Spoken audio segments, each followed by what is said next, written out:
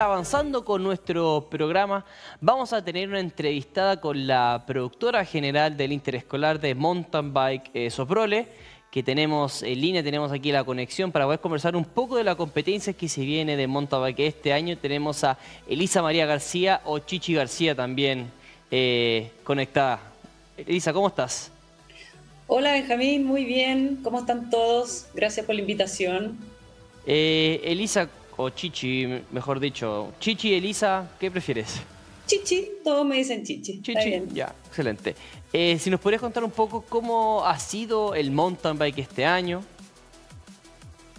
Eh, mira, eh, nosotros en el campeonato interescolar tuvimos una fecha el primer semestre, en el mes de abril, con una concurrencia enorme. Tuvimos más de 500 alumnos y alumnas compitiendo en, en, el Parque Las Palmas la especialidad de cross country. Así es que, bueno, ahora se nos acerca la segunda fecha final, el 30 de septiembre, sábado 30 de septiembre, donde se va a definir el colegio campeón y vamos a ver ahí cómo está. La pelea está bastante reñida. Tenemos eh, ahí en los primeros cinco lugares una pelea bien, bien eh, contenida.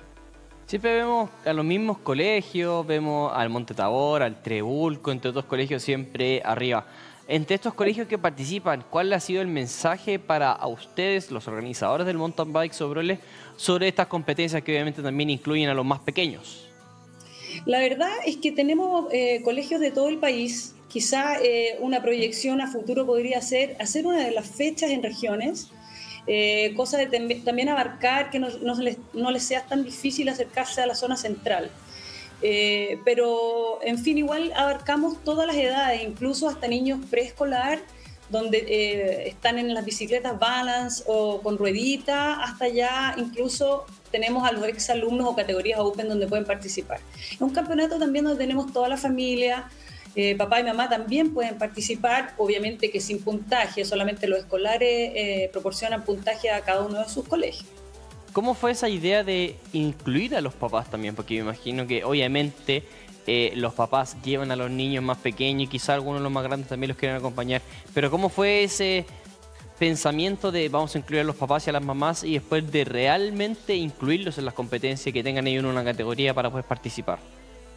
Lo que pasa es que si tú, ustedes eh, se ponen a pensar, el mountain bike, a diferencia del otro deporte eh, del campeonato, eh, abarca toda la familia, o sea, es un deporte que en realidad se practica en familia los fines de semana, mamá, papá, ahora están también eh, las famosas e-bikes o bicicletas eléctricas, son súper inclusivas a los hermanos chicos, entonces, em, claro, a lo mejor en otros deportes solamente se practican durante el periodo escolar y es muy difícil después continuarlo. En cambio acá los niños salen del colegio y van a mantener sus bicicletas en la casa para siempre, eh, si quieren para competir. Tenemos muchos eh, corredores que partieron en el Soprole y ahora son grandes estrellas internacionales, pero también tenemos a niños que participaron en el Soprole y ahora son padres incluso y siempre junto a sus bicicletas y la ocupan para paseo y todo. Es un deporte que incluye a toda la familia.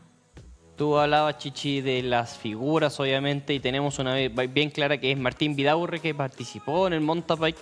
Y me imagino que obviamente en, en la organización de Soprole siguen la carrera de Martín, han seguido obviamente las competencias y carreras de Martín. ¿Qué se siente que obviamente que Martín haya pasado por las competencias de ustedes primeros antes de haber explotado y ahora ser una figura internacional del mountain bike?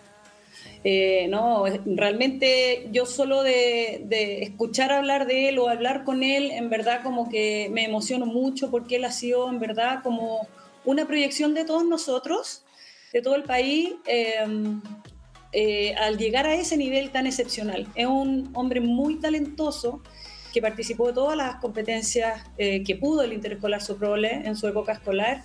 Y, bueno, ahí lo estamos siguiendo de cerca, fue campeón del mundo, está ahora corriendo con la elite eh, a, nivel internacional. Su gran objetivo este año, los Juegos Panamericanos en Santiago.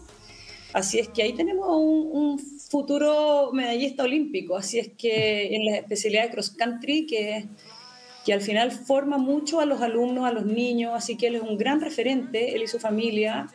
Eh, cuentan con todo el apoyo del país, han sido grandes referentes del mountain bike también su padre, y así es que, nada, realmente emocionante tener a un hombre como él, así es que esperamos que en el semillero que tenemos ahora en el campeonato interescolar eh, salgan nuevas estrellas, sigan la ruta de Martín, también de Florencia Espiñeira, que es una gran referente también en, lo femenino y en la especialidad de enduro. Ella se formó también en el cross country y en las competencias soproles. Ella ahora está liderando el ranking de enduro en el equipo Orbea internacional, así es que vive afuera.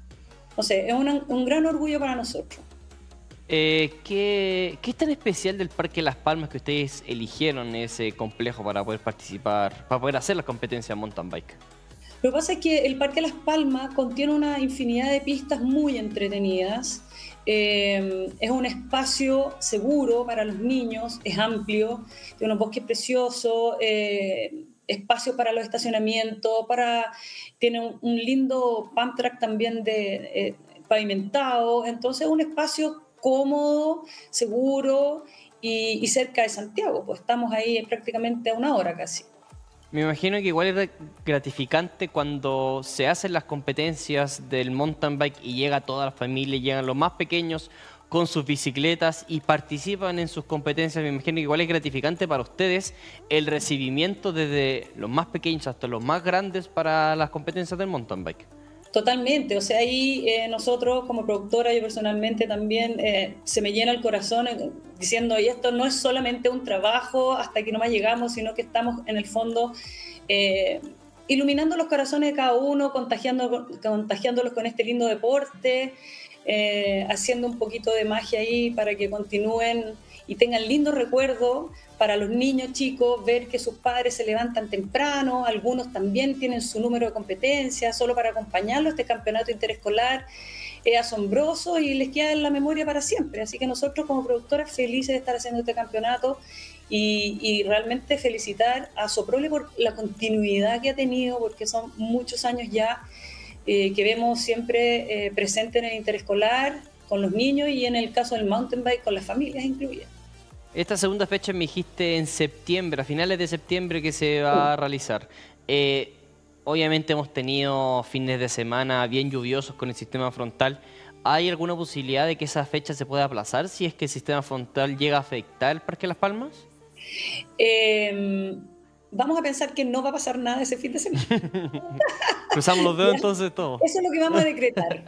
Después veremos, pero por supuesto que hay alternativas de fecha y todo. Así es que vamos a cruzar los dedos para que eso no suceda. Así es que eh, para el 30 de septiembre todos a inscribirse, ¿ya?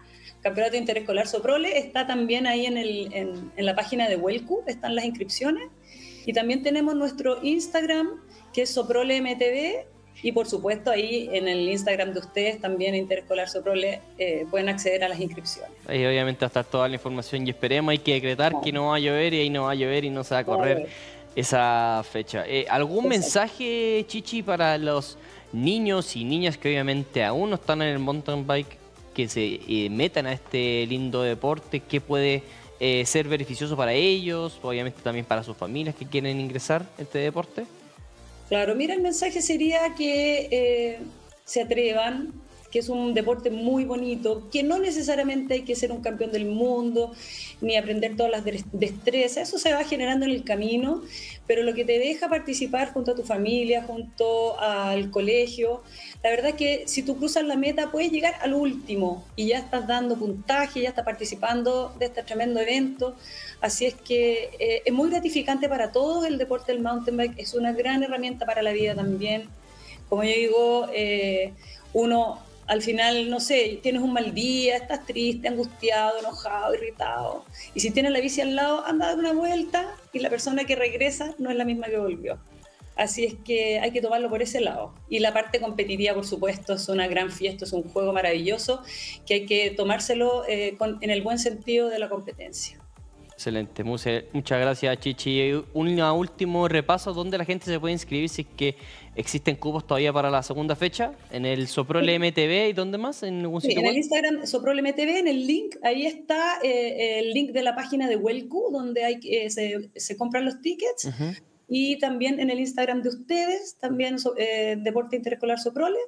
Así que bienvenidos pues, a, todos a inscribirse, ojalá toda la familia. Recuerden, tenemos desde los niñitos de la bicicleta esas sin pedales o con las rueditas laterales y de ahí en adelante todas las edades. Niños y niñas, distintos circuitos apropiados para su edad. Así es que el sábado 30 de septiembre, a partir de las 9 y media de la mañana, todos a competir. Y los papás también, eh, papás y mamás también se van a poder participar de ese campeonato, me imagino. Por supuesto, eh, papás y mamás tenemos incluso tres categorías distintas, dividido por edad, sub 40, 40, 50, 50 y más. Y, y aquellos que ya tienen su bicicleta eléctrica, también va a haber una categoría única para, para que puedan participar. Un deporte bien inclusivo entonces para toda la familia, como tú bien decías, de lo más pequeño hasta lo más grande, también los papás y las mamás que puedan participar y distintas edades. Muchas gracias Chichi por eh, compartir con nosotros. Muchas gracias por tu tiempo y esperemos que eh, el mountain bike siga llevando mucha gente y llegue aún más personas y lleguen eh, más figuras internacionales como las que ya conversamos durante la entrevista. De todas maneras, Benjamín, van a llegar, se nos va a llenar y lo vamos a pasar increíble ese 30 de septiembre. Muchas gracias, Chichi. A ustedes, que estén muy bien. Chao, chao.